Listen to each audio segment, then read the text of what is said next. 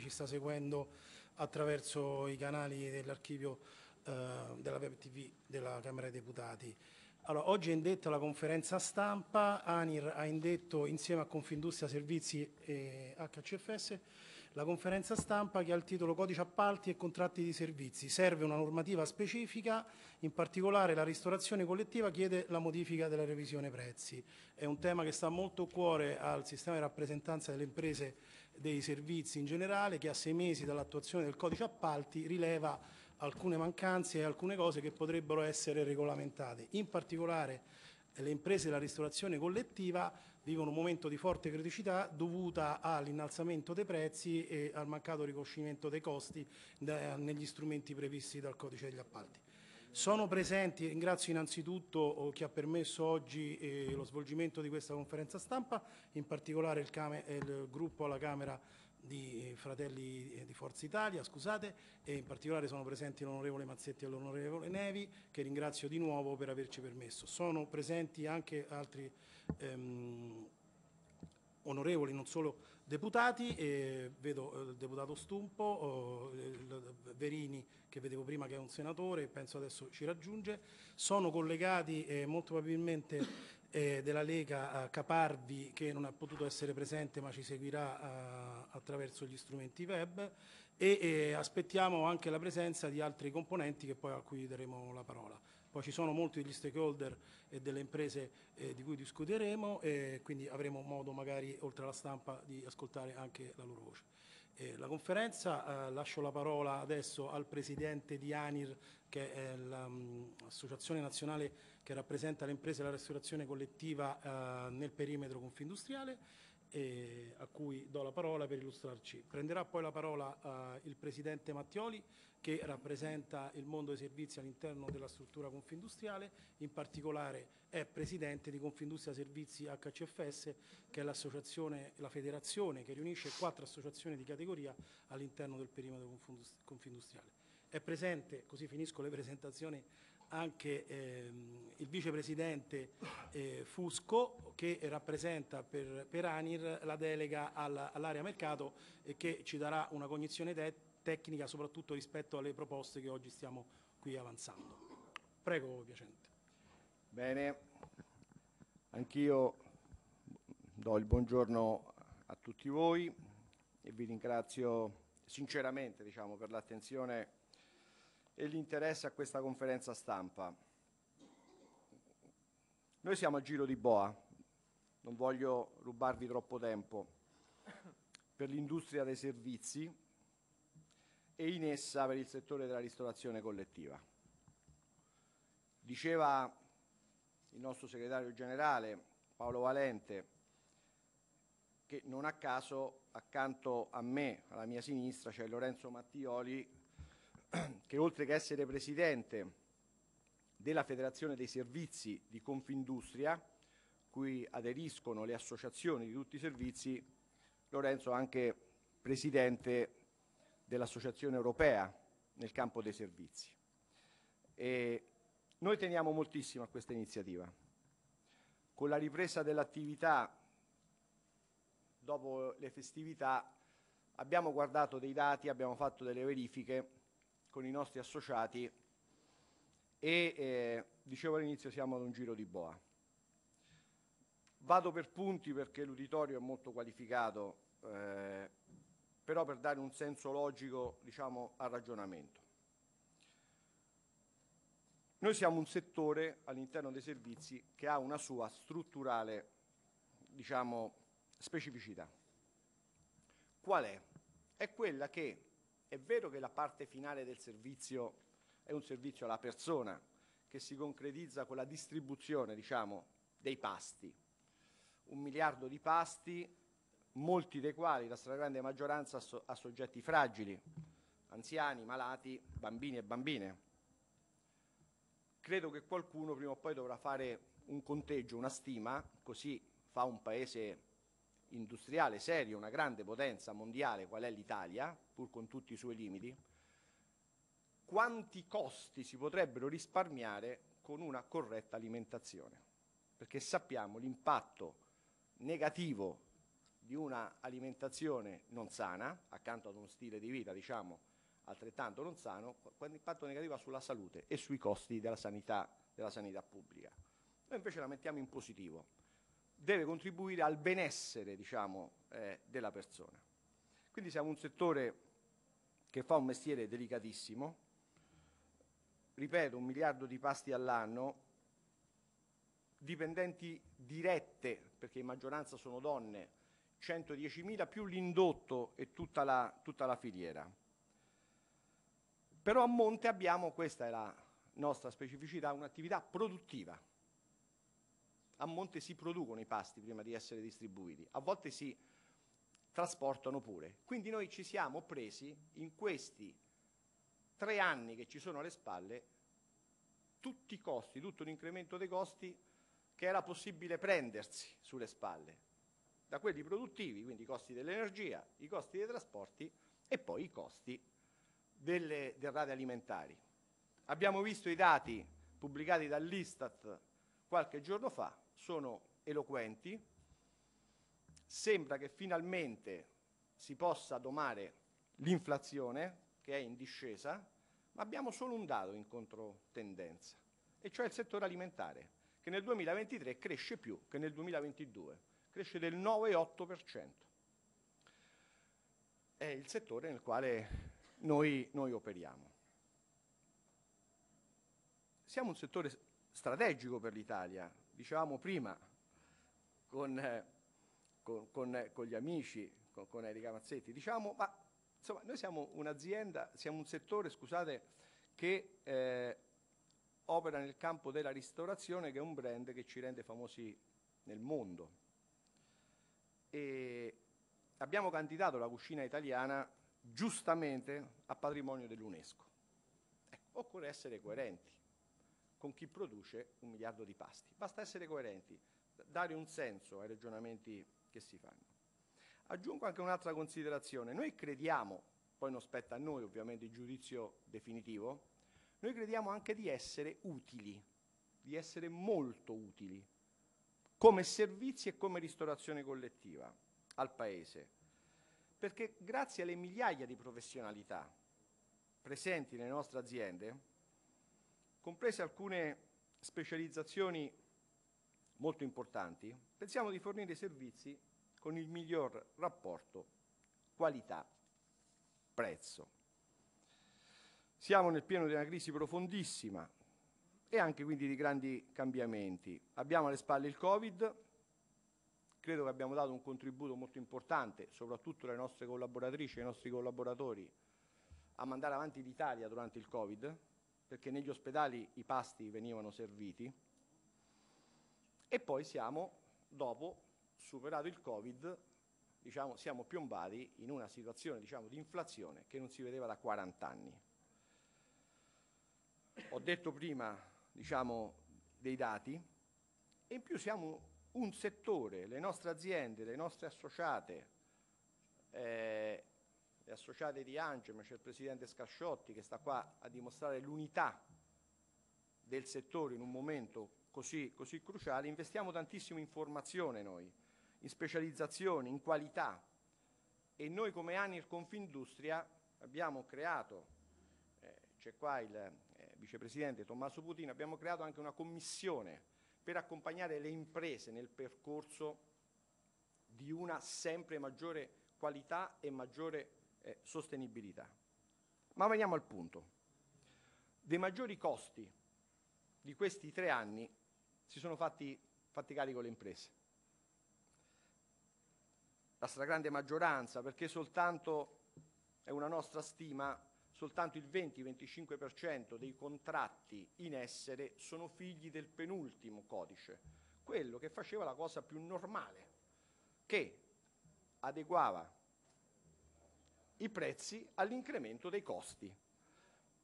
La revisione dei prezzi, sia detto per l'ennesima volta, non è un aumento dei prezzi, è un adeguamento dei prezzi all'incremento dei costi che si registra nei 12 mesi precedenti, quindi quando già le imprese le hanno pagati questi costi.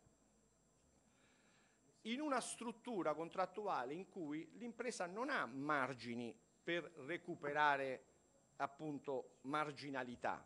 Abbiamo dei capitolati molto rigidi, dei menu predeterminati, la clausola sociale che giustamente ci impone la riassunzione di tutto il personale e quindi diciamo, il discorso è, è, è chiarissimo.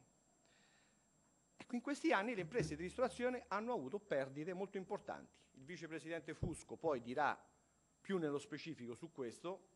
Abbiamo perso quattrini, abbiamo attinto al nostro patrimonio per reggere l'urto, delle perdite.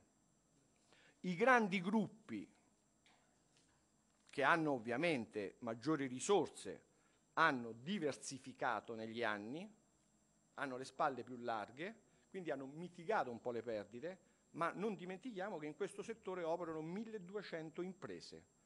Pensiamo anche quindi a quanta imprenditoria diffusa, eh, importante, perché le imprese sono un grande patrimonio, sono le uniche che fanno sviluppo e occupazione, eh, a che ricchezza imprenditoriale rischia di saltare. Noi abbiamo chiesto un segnale di attenzione che non c'è stato per le perdite di questi anni. Io però voglio essere molto, molto sincero, insomma. Eh, probabilmente non sarà facile ottenere un segnale di attenzione per le perdite di centinaia di milioni di cui ci siamo fatti carico. Certamente siamo qua, nella sede del Parlamento, della Camera dei Deputati, e vi chiediamo ovviamente di non abbassare la guardia, se, se ci fosse la possibilità di un segnale di attenzione per rimpinguare le casse di questo settore, come già si è fatto diciamo, con il fondo che fu istituito a suo tempo, noi saremmo felici. Ma ci, ci stiamo attrezzando le imprese più grandi o medio-grandi per reggere il colpo. Il punto riguarda il presente e il futuro, quello cruciale. Perché il nuovo codice, che ha molti aspetti positivi, che abbiamo eh, riconosciuto pubblicamente, all'articolo 60 diciamo, ha una formulazione che davvero non funziona. Non funziona. Primo, perché l'articolo 60 è quello sulla revisione prezzi, accomuna i lavori ai servizi e alle forniture. Parliamo di due mondi che più distanti non si può. Noi facciamo servizi, eh, a parte la natura del servizio, ma servizi a ripetizione, cioè su un ambito pluriennale, con le rigidità che ho detto prima. Non facciamo un'opera che, che diciamo, si caratterizza per, i, per gli stati di avanzamento. Premesso che anche sui lavori a mio personale giudizio, ma la dico qui, ci sono dei problemi. Ma sui servizi va studiata, va introdotta per legge in maniera chiara una eh, specificazione diversa da quella, da quella, dei lavori. Perché facciamo servizi pluriennali, eh, ripetizione. L'articolo 60 fa una cosa incredibile perché dice è riconosciuta la revisione prezzi, poi quando dice come la nega. Perché mette una soglia, che io chiamo una franchigia per intenderci, del 5%, e poi sulla parte diciamo, che eh, va oltre il 5% riconosce l'80%. Questo è un settore che se prendiamo gli ultimi anni, delle 1200 imprese, prendiamo le 5 migliori, eh, i migliori migliori negli anni migliori, scusate la ripetizione, ma è voluta, eh, avevano un utile dell'1, 1,5%. Di questo stiamo parlando. Non a caso sono settori che devono fare economie di scala e si reggono su grandi numeri, su grandi numeri, con marginalità unitarie ridotte. Quindi i margini, diciamo, da questo punto di vista eh, non ci sono. Quindi noi chiediamo davvero su questo un intervento, un intervento. Io vengo alla domanda, insomma, noi arriviamo provati da questi anni, ma ce l'abbiamo sulle spalle, ci faremo carico dei costi, eh, però non toglieteci anche la speranza, perché il codice non è una circolare che diciamo è uno strumento diciamo, più leggero di disciplina giuridica, è un codice. Non devo risalire a, all'era napoleonica per dirne diciamo, l'importanza. E se il settore dei servizi e in esso della ristorazione collettiva eh, non vedranno una modifica urgente, veloce del codice, beh, davvero credo che avremo messo una pietra tombale su questo mondo, con grande, con grande chiarezza. Quindi ci aspettiamo una risposta schietta. Può darsi pure che diciamo, la volontà, la scelta sia questa, ma almeno ci attrezziamo. Non so come, non so se possa esistere un paracadute sufficiente, credo di no, ma questo noi dovremmo fare. Cosa chiediamo? Noi chiediamo semplicemente l'abolizione della franchigia del 5%, perché non ha motivo per la, le caratteristiche della revisione prezzi. Siamo in tempi di grandi difficoltà di finanza pubblica, vogliamo lasciare l'80% diciamo, di ciò che l'Istat, non le imprese, certificano? Lasciamo l'80%, ma quella franchigia non ha nessuna motivazione logica, se non una penalizzazione che in maniera un po' dirigistica si vuole inserire. Non ha nessuna motivazione, nessuna. Perché ho detto si tratta di adeguare dopo un anno i prezzi ai costi, che non certifichiamo noi, è lo Stato li certifica. Non va bene l'Istat, troviamo un altro, eh, troviamo l'ANAC, troviamo la, non so bene chi, la Corte dei Conti, le, le singole amministrazioni, chiunque, Paperino, Pluto, chiunque. Lo decide lo Stato, chi deve dire qual è stato l'incremento dei costi. Eh, ma una volta accertato bisogna che ce lo riconoscete. Non vi voglio tediare su un aspetto tecnico, però un minuto lo prendo. Noi quando facciamo le offerte, congiuntamente presentiamo una paginetta in cui c'è la congruità del prezzo. Nella congruità del prezzo noi giustifichiamo i costi e indichiamo anche il margine, che come sappiamo è quando va bene di un punto, due punti. È quello che è. Se un'offerta, anche dopo l'aggiudicazione, non è ritenuta congrua da un punto di vista economico dalla stazione appaltante, viene revocata l'aggiudicazione provvisoria. Quindi è un elemento fondante del contratto. Ora, se nel tempo i contratti mediamente durano 5 anni quei numeri non vengono tutti aggiornati, ma vengono aggiornati soltanto i costi, la congruità viene meno. Con l'inflazione a, a, due cifre, come c'è stata e come c'è ancora, di queste dimensioni, la congruità salta in pochi mesi. Quindi salta proprio anche l'architettura giuridica.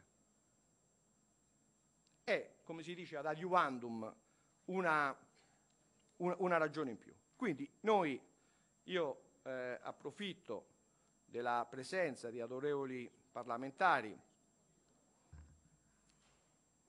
C'è anche la relatrice, eh, che, fu, che, fu, la relatrice tra l'altro nella Camera dei Deputati del, del nuovo codice degli appalti, eh, Raffaele Nevi, diciamo, autorevole esponente di Forza Italia.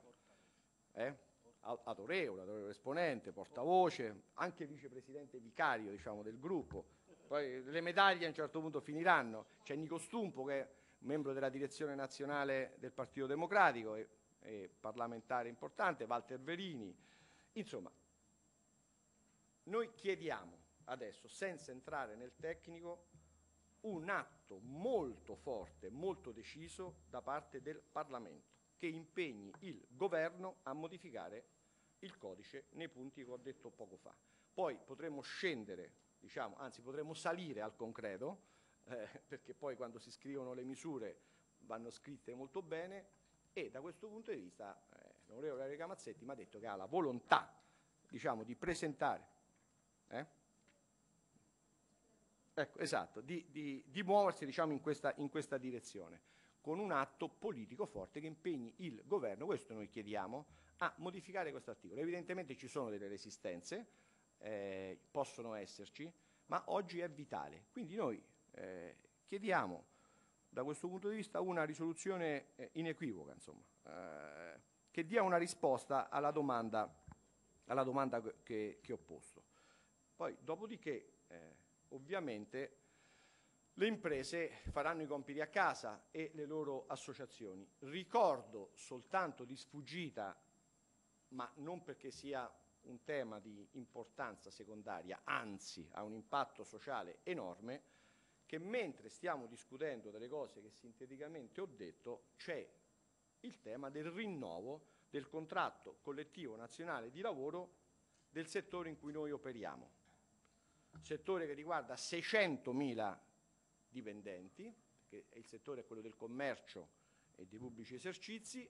Noi riteniamo anche qui voglio essere esplicito, che sia giusto rinnovare il contratto perché per le stesse ragioni che ho illustrato per le imprese è anche giusto che le nostre collaboratrici, i nostri collaboratori, che sono la più grande risorsa di cui disponiamo, perché la qualità dei servizi ogni giorno dipende dal loro lavoro, dalla loro formazione, dalla loro passione, dalla loro competenza, vedano diciamo, i loro salari adeguati all'inflazione che ne ha ridotto il potere d'acquisto. Però devo essere altrettanto chiaro che con questo quadro normativo e giuridico le imprese non hanno alcuno spazio, non hanno spazio nei bilanci per diciamo, aggiungervi ulteriori costi oltre a quelli che vi ho detto. Quindi diciamo, il cortocircuito eh, c'è il rischio che si crei, perché poi diciamo, noi dovremmo dire semplicemente la verità per un atto di onestà. Noi vogliamo rinnovare il contratto ma non abbiamo le risorse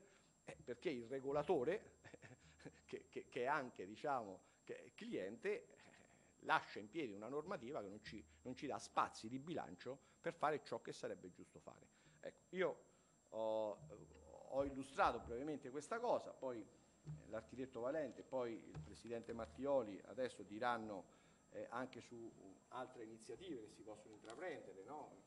veniva eh, citata diciamo, la cabina di regia, un intergruppo, però l'importante è che quello, che quello che facciamo, quello che vogliamo fare si dica in maniera chiara, trasparente, come si dice, tracciabile in tempi ragionevoli, perché purtroppo il tempo è scaduto ma per una semplice ragione, perché non c'è più, non c'è più, perché le imprese debbono fare le loro valutazioni. Quindi io vi ringrazio di nuovo per l'attenzione, mi scuso se ho preso più tempo di quello che avevo previsto e eh, passerei subito la parola al... Allora, direi, direi così, visto che abbiamo toccato sia il tema generale già molto ampiamente e siamo entrati già nel merito, approfittando anche della presenza, io darei subito la parola per la parte un po' più discesa di scala, così abbiamo il panorama al, al vicepresidente Fusco, che ci illustra un po' dettagliatamente quella che era la proposta, esattamente così come l'abbiamo concepita. E, tra l'altro so che ha una grande capacità di sintesi e di efficacia nelle cose che dice, quindi sarà molto utile farlo. Poi dare la parola al Presidente Mattioli che invece ci, ci, rimette dentro la vicenda dei servizi in maniera più ampia, così abbiamo un quadro chiarissimo di quello che, si, che stiamo definendo. Prego, certo. Grazie Paolo. Cercherò di non eh, smentirti e di non smentirmi. Devo unirmi ai ringraziamenti, ma non per una questione di manierismo, perché oggi il problema che viviamo eh, nel nostro settore è quello di avere la possibilità di raccontarci. E facciamo un lavoro oscuro, nel senso che non è un lavoro che è diretto al pubblico, ma è diretto, come diceva Presidente Piacenti prima, a collettività. Molto spesso quando si parla di ristorazione si evocano bar, ristoranti, caffetterie, bistrò, noi invece lavoriamo in simbiosi con la pubblica amministrazione. Lavorando in simbiosi con la pubblica amministrazione serviamo collettività che non possono scegliere, quindi ospedali, caserme, scuole, università, e quindi sebbene facciamo ristorazione la nostra missione è profondamente diversa, le responsabilità a cui andiamo incontro e le finalità che intendiamo perseguire sono evidentemente diverse. Io vorrei partire da un paradosso prima di raccontare nel dettaglio la proposta emendativa. Noi oggi siamo un pessimo contribuente per lo Stato italiano. I nostri utili anteimposte da tre anni sono zero o negativi, quindi noi paghiamo poche tasse. Noi siamo i nemici dei nostri dipendenti, perché noi non abbiamo spazio per rinnovare il contratto collettivo e sfido chiunque di noi faccia questo lavoro seriamente a non pensare che il proprio personale sia l'asset più importante, la colonna portante sul quale investire per noi e per le future generazioni. Noi siamo coloro i quali saranno costretti a mortificare la qualità che viene richiesta. Oggi noi abbiamo in Italia una legislazione alimentare che è la più severa a livello europeo. Noi siamo i tutori del Made in Italy, eppure questa biodiversità eh, che in Italia chiaramente ha il suo eh, posto principale deve essere remunerata. Noi sapete abbiamo l'obbligatorietà per il recepimento di normative europee di introdurre e valorizzare all'interno dei nostri menù i CAM. Quindi parliamo di filiera corta, di chilometro zero, di DOP, di GP, di bio. È evidente che chi di noi fa questo lavoro seriamente ha tutta l'intenzione di valorizzare questi elementi che possono fare la differenza, questi elementi hanno un costo. Ora, andando nel, nel merito di quello che eh, intendiamo proporre, eh, come veniva anticipato prima, Oggi il tema vero eh, su cui l'articolo 60 eh, sostanzialmente fallisce è quello che non pone alcun tipo di differenza tra i contratti a esecuzione istantanea e i contratti a esecuzione periodica o continuativa. I nostri sono contratti a esecuzione periodica o continuativa. Quindi sostanzialmente noi attraverso affidamenti pluriennali che consentono alle stazioni appaltanti di trasferire sul, eh, sull'operatore economico anche parte delle spese per investimenti, essendo le stazioni appaltanti abbastanza ingessate sotto questo aspetto, eh, noi attraverso contratti pluriennali riusciamo a svolgere un servizio, remunerare gli investimenti e sostanzialmente conseguire l'obiettivo che la stazione appaltante ci chiede di conseguire all'interno dell'architettura di gara. È evidente che con un'impostazione dell'articolo 60 che prevede una franchigia del 5% su base annua, noi all'interno di un contratto di durata, non voglio dire quinquennale o settennale, ma anche triennale, noi lasciamo per strada il 5% all'anno, cioè il 15% complessivo di possibile revisione prezzi. Viviamo un periodo di inflazione che almeno nei nostri settori è ancora abbastanza forte, ma comunque anche se andassimo, tornassimo verso l'inflazione programmata prevista a livello europeo, comunque noi lasciamo per strada il 2 il 3% all'anno di possibile revisione prezzi. Con i nostri bilanci che dicono quello che è stato detto prima, è evidente che questa situazione fa la differenza tra un affidamento con una marginalità, seppur bassa, comunque congrua a remunerare i costi, ovvero un affidamento in perdita. Se guardate le banche date ufficiali, gli indicatori patrimoniali delle società del nostro settore sono tutti in picchiata, cioè sostanzialmente in questi anni si è dovuto fare ricorso alle riserve al patrimonio netto per far fronte alle perdite. Non vogliamo aggiungerci alla schiera di coloro i quali si lamentano, ma è evidente che questo meccanismo non è un meccanismo che porta a una via d'uscita. C'è una brutta abitudine nel nostro Paese che le cose che funzionano vengono smontate, fosse anche per una non adeguata diversificazione. Fino a un certo punto, e cioè fino al 2016, esisteva una norma che prevedeva la revisione annuale dei prezzi che era l'articolo 115 del decreto legislativo 163 del 2006.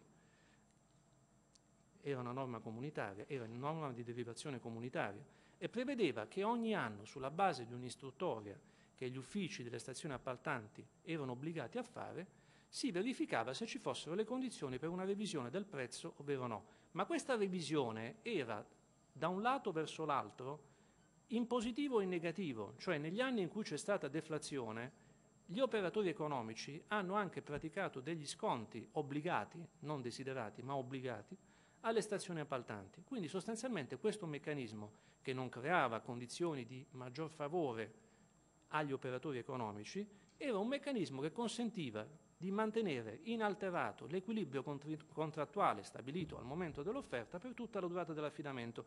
Questo questo incontra il pubblico interesse, l'articolo 97 anche perché è obbligo delle stazioni appaltanti controllare, esigere che il servizio venga fatto nel modo previsto in gara e noi operatori economici non ci possiamo sottrarre accampando scuse a questa verità, a questa ineluttabile verità. Oggi potremmo dire, signori, ma i costi sono aumentati, i ricavi sono gli stessi, come facciamo a mettere dentro tutto quello che tre anni fa era stato previsto? Francamente non è un discorso che ci appassiona, per chi almeno vuole fare questo lavoro seriamente. Ma di fatto oggi questa è la situazione. Un ultimo dato, non una considerazione. Noi siamo tornati dopo quattro anni, nel 2000, anzi dopo tre anni, perché oggi ci sono le banche dati aggiornate al 31 dicembre 2022, noi siamo tornati agli stessi ricavi ante Covid, quindi al 2019. L'aggregato delle prime 20 aziende che hanno almeno il proprio fatturato per il 60% derivante da ristorazione collettiva dice 3 miliardi nel 2019, 3 miliardi nel 2022. Il problema è che i costi sono cambiati e cam sono cambiati i costi della produzione, il valore della produzione è rimasto immutato. È un problema non soltanto legislativo, è un problema di democrazia che non ha colori, quello di consentire a che un settore possa svolgere in maniera libera la propria intrapresa economica rispettando i propri doveri e esigendo che vengano esercitati i propri diritti. Grazie Fusco.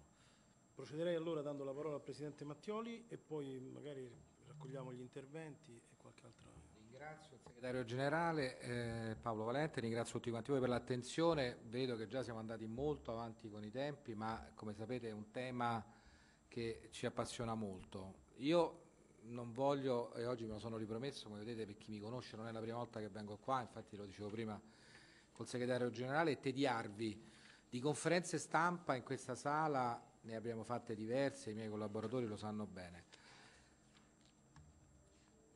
Abbiamo con eh, interesse e peso le parole appreso che in queste settimane, in questi mesi eh, c'è un'attività eh, dell'arco parlamentare che si sta interessando del mondo dei servizi, eh, in particolare, come sapete, è stata oggetto eh, da parte del questore della Camera e della Camera dei Deputati dell'internalizzazione dei servizi di ristorazione, pulizia e vigilanza e quindi ci fa, come dire, ci sembrava importante il momento giusto per tornare a parlare ancora una volta di questo mondo. Ecco, questo mondo che io rappresento, io sono Lorenzo Mattioli, sono il presidente di Confindustria Servizi HCFS, che cosa chiediamo? Non entro nel merito della questione sull'internalizzazione perché chi mi conosce sa che io negli anni passati ho fatto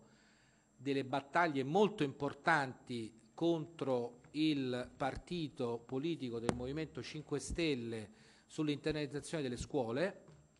I risultati oggi dicono che avevamo ragione, che è un disastro, le scuole sono sporche, i presidi si lamentano perché è stato prodotto soltanto un, dire, un carrozzone pubblico. Dio non voglia che se ne crei un altro qua alla Camera dei Deputati, ma magari mi sbaglio. Che cosa chiediamo al governo? Ecco, che cosa ci interessa? Ci interessa, punto primo, che venga rispettato quello che è scritto sul codice degli appalti, molto semplice. Primo, che venga istituito questo benedetto gruppo interparlamentare per dire, per occuparsi del mondo dei servizi, belli, brutti, sbagliati, antipatici. Vi ricordo che ormai la tendenza europea di tutti gli stakeholder e in particolare, prima il Presidente Piacenti, lo ringrazio, ricordava il mio ruolo europeo, Ecco, c'è una direttiva comunitaria e il Parlamento che sta per scadere si sta rioccupando del public procurement, dove mi sembra in modo molto chiaro e preciso, io mi permetto di dire che l'Italia è secondo me da procedura di infrazione perché della direttiva comunitaria non ha rispettato nessun paragrafo e nessuna virgola, era sufficiente fare una traduzione, l'ho detto tante volte, ma noi abbiamo voluto fare tante altre cose. Ecco, dicevo, quindi il primo punto è un semplice gruppo interparlamentare. Il secondo, sempre nel, nel codice degli appalti, che ripeto è stato approvato... Intergruppo. Intergruppo. Sì, intergruppo, sì, sì. Ah, va bene, l'intergruppo, intergruppo. Sì, vabbè, ma ce ne stanno tanti, voglio dire. Il partito di governo ce ne ha 180. No, no, certo. No, infatti io sono partito da là, certo. No, ma poi mi correggerete, scusate, sbaglio, quindi voi siete più bravi di me. Secondo, la cabina di regia. È scritto nel codice degli appalti. Che cosa stiamo aspettando per istituire la cabina di regia? Penso che insomma, sia abbastanza urgente no? come, come questione. Ultimo, perché sempre scritto nel codice degli appalti e ce lo ha detto chiaramente nell'ultimo incontro che abbiamo avuto al Ministero delle Infrastrutture il capo dell'ufficio legislativo che il CIPES finalmente inizi a lavorare e si occupi del mondo dei servizi. È scritto nel codice appalti. Ecco, noi chiediamo queste cose molto semplici. Sono convinto che il governo, le forze parlamentari, le forze di maggioranza, chi ha più ne metta, si voglia occupare di questo. Grazie a tutti. Grazie Presidente. Allora, io oh, procederei magari con degli interventi, se vogliamo raccoglierli, per noi sarebbero molto importanti, poi magari aggiungiamo qualcosa noi a conclusione. Ehm, quindi invito l'onorevole o l'onorevole Mazzetti, diciamo magari se vogliono prendere parola, e, e raccoglierei poi gli altri interventi che per ora diciamo dei parlamentari presenti, eh, vedo che Stumpo è andato via, non so chi c'è. Se magari per noi sarebbe molto importante avere un vostro, va benissimo anche l'onorevole Mazzetti, tanto so che conoscete il problema, quindi ci avete seguito sin dall'inizio. Grazie, prego onorevole.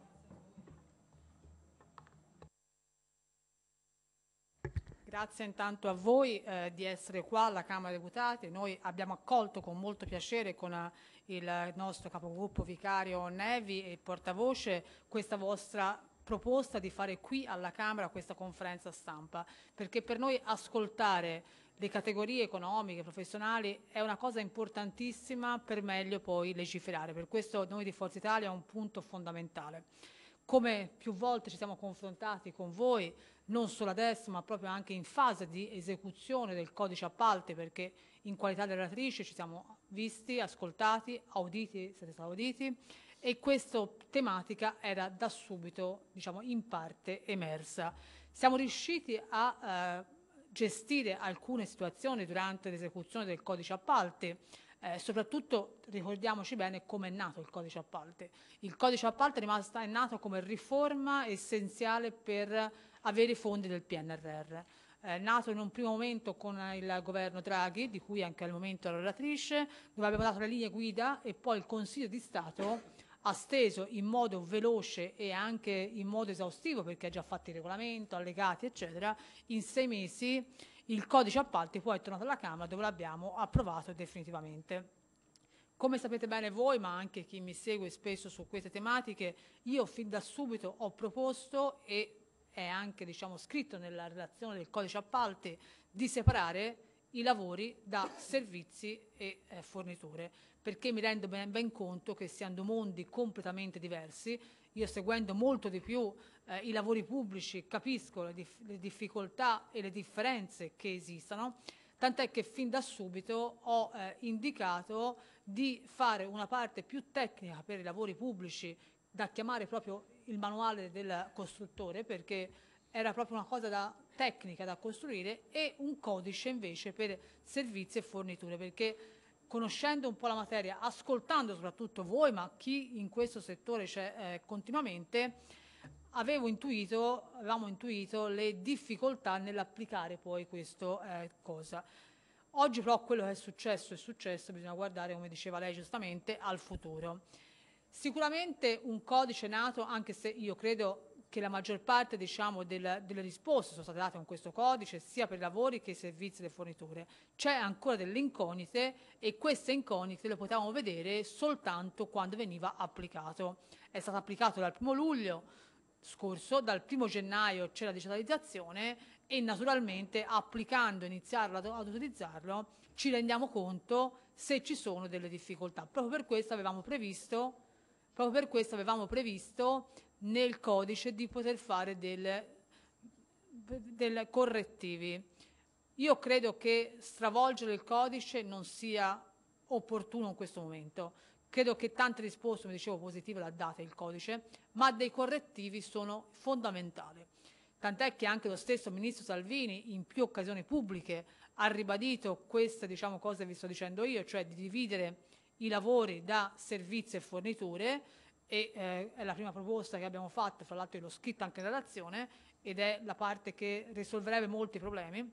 Dall'altra anche lui ha seguito il discorso di fare questo tipo di eh, correttivi che naturalmente a breve andranno fatti perché ora siamo entrati in pieno del vigore de, dell'attivazione e visto insomma che giustamente io capisco dal Ministero ci sono tante cose da portare avanti, siamo un piano PNRR, tante cose da fare, e come partito di Forza Italia e come responsabile del Dipartimento Lavori Pubblici insieme all'architetto Mele che con me coordina diciamo, la parte tecnica del Dipartimento, abbiamo pensato di dare una, delle piccole diciamo, modifiche al codice appalti che sono dei correttivi veri e propri e che la maggior parte riguarderà i lavori pubblici, perché non ci scordiamo poi il codice appalti ultimo ha fatto, diciamo, riguarda l'80% lavori pubblici e forse il 20% servizi e forniture, mentre i veri appalti poi sono viceversa, perché sono molti più servizi e forniture che lavori, anche se ora siamo in un momento straordinario per il PNRR. E in questi correttivi abbiamo messo delle modifiche, eh, diciamo, come si chiamano, veri e propri correttivi, che non vanno a stravolgere il codice, perché sapete benissimo se noi modifichiamo il codice nei temi del principi, dopodiché deve tornare in Consiglio dei Ministri, deve tornare in Consiglio di Stato, cioè non se ne esce più. E questi correttivi noi li abbiamo proprio stesi, li abbiamo scritti e aspettavamo proprio questo incontro di oggi per ascoltare voi perché mancava l'ultimo diciamo, articolo di questi correttivi che riguardava proprio il tema dei servizi e forniture. Per cui questa è stata un'occasione importante per ascoltarvi, per capire la categoria cosa necessitava. Abbiamo capito benissimo qual è il problema. La cabina regia, che io credo che sia stata eh, insediata ma ancora non è partita a Palazzo Chigi, deve partire sicuramente coi tempi, Sicuramente quello che dicevate voi, e ne avevamo già parlato con Massimo prima, mentre si faceva il codice appalti, eh, il 5% di franchigia e poi pagando l'80% poteva essere un problema, lo è per lavori pubblici, immaginiamo per eh, servizi e forniture, quando, eh, essendo anche ripetitivi, cioè, pensate un appalto di 5 anni, se c'è una franchigia del 5%, si va quasi a un 30% poi si arriva perché è cumulabile. Per cui ecco, questo va chiarito perché non è possibile che cioè, noi dobbiamo tutelare il mondo industriale del nostro paese. Voi fate, siete un tassello fondamentale dell'industria del nostro paese e non è concepibile che avete un aumento del 30%, una franchigia, perché in sei anni che di media sono gli appalti.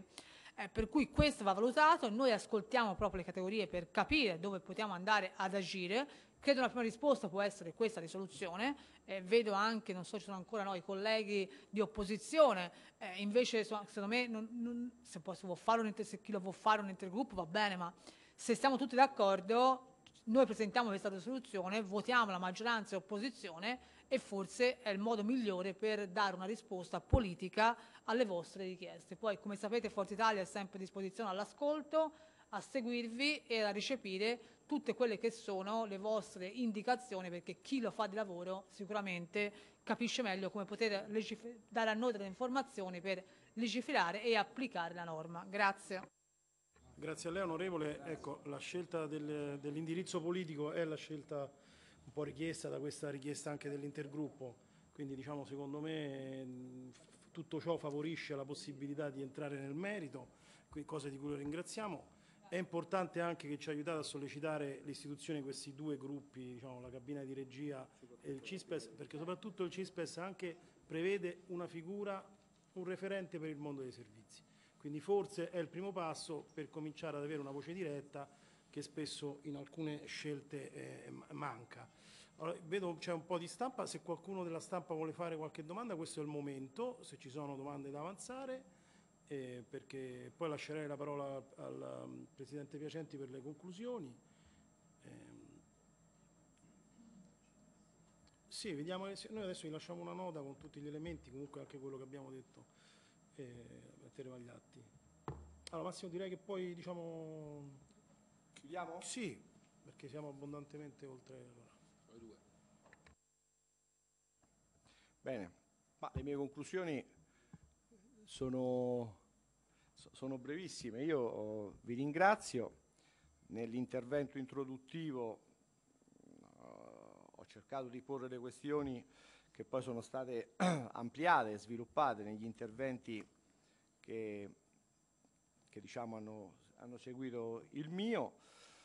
Eh, soltanto due considerazioni. Eh, mi sembra che la posizione espressa eh, autorevolmente dal gruppo di Forza Italia sia una posizione molto chiara, l'apprezziamo nei prossimi giorni speriamo che intorno a questa posizione che poi eh, si dovrà eh, esplicitare in un atto diciamo, formale si possa coagulare una, intanto la maggioranza che sostiene eh, il governo, ma poi una maggioranza anche più ampia eh, di, tipo, eh, di tipo parlamentare. È importante che su queste questioni ci diamo anche dei tempi, perché ripeto, eh, il tempo è davvero scaduto per le imprese, ma soprattutto, soprattutto abbiamo un tema gigantesco io ho richiamato volutamente alla fine eh, perché non era il tema della conferenza stampa, ma è quello del rinnovo del contratto collettivo nazionale di lavoro. Con eh, il presidente Scarsciotti di Angem ci siamo sentiti, eh, dobbiamo riuscire ad essere uniti sulle questioni che ci riguardano, anche sulla questione del rinnovo del contratto, dobbiamo andare oltre una storia che è stata spazzata via letteralmente dalle vicende degli ultimi due anni. Il mondo è cambiato radicalmente. Chi lo capisce velocemente potrà recitare una parte, non so quale, nel nuovo mondo. Eh, se ci attardiamo con la testa rivolta all'indietro, la partita è persa in partenza. Quindi eh, io auspico che eh, da parte del nostro mondo ci sia una forte unità, una forte compattezza eh, sulle questioni che abbiamo detto e che ci sia un'interlocuzione molto fitta nei prossimi giorni eh, sulle questioni che abbiamo posto per darci delle scadenze che le imprese, la filiera, l'indotto e le nostre lavoratrici e i nostri lavoratori attendono davvero con grande ansia. Grazie a tutti e alla prossima occasione.